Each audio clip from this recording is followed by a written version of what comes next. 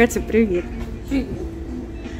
А, Ты очень интересный звонарь. На канале люди пишут ну, такие ну, необыкновенные отзывы. Всегда ждут твои звоны. Вот. Как ты стал звонарем? Как так случилось? А, судьба. Все пути сошлись в одно. Но я не могла не стать звонарем. Что школа звонарей есть, так туда побежала. Ну, это сколько лет назад уже? Сейчас тебе скажу. Шестой год. С Рождества седьмого я у себя в храме стала звонить. Вот я это точно помню. 15 лет назад. Ого. И сейчас даже преподаешь сам. Да, случайно получилось. Ну, случайности не случайно. Как в известном мультфильме. Я, Ну, я вот- к этому так отношусь. Что раз так идет, значит так должно быть. А, Ну, вот такой большой опыт. э, Что бы ты посоветовала начинающим и тем, кто ну, продолжает звонить? Вот, допустим, ты не знала сама, но было бы здорово, если бы ты это узнала раньше. Может быть, что-то такое полезное для людей. Все время узнаю что-то новое. Я смотрю, наблюдаю за остальными. Мне это интересно, как человек раскрывается в звоне. И а, беру для себя что-то. То есть я благодаря другим лучше начинаю понимать себя, что я хочу. И, наверное, совет такой тоже наблюдать за другими.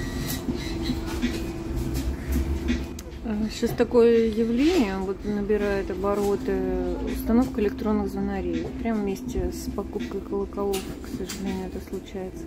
Как вообще относишься к этому явлению? Вначале я очень негативно относилась, прям до дрожи негативно. А сейчас я понимаю, что это неизбежность. Наверное, как вот э, мы сейчас не задумываемся электрический свет. Раньше был только живой. Или цифровая запись. Она аналоговый рознь.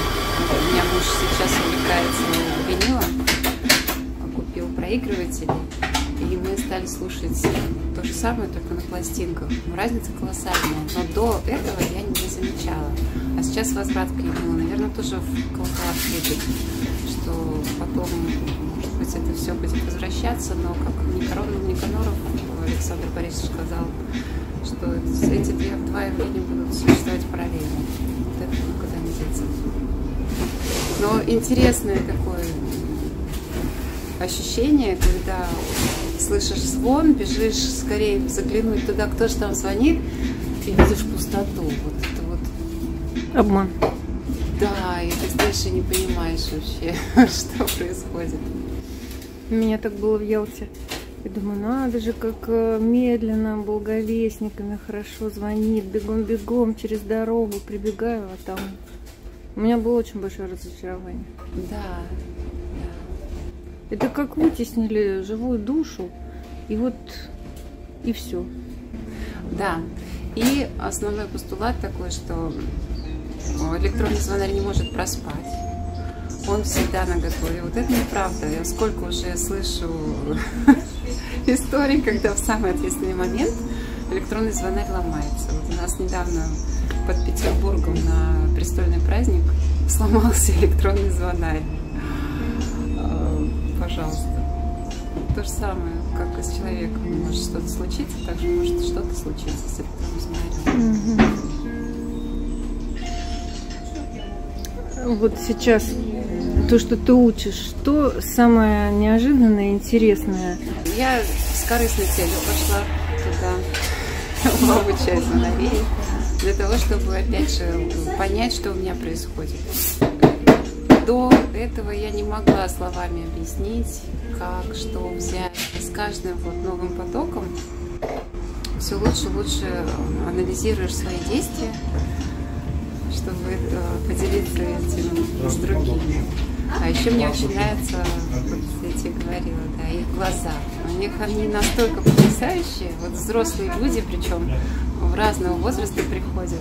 И старенькие, и у них глаза открываются, вот распахиваются, как у младенцев. Вот так вот широко. У них вот просто такая радость пасхальная внутри. Они горят. И вот завидую. Где бы мне получить такие эмоции, у них вот это вот в первый раз они прикасаются к этому, когда что-то получается, это просто невероятно для них. Я очень радостна. Да, слава богу, чтобы было побольше сыновей, чтобы ты учила и к тебе они шли. Спасибо, до новых встреч.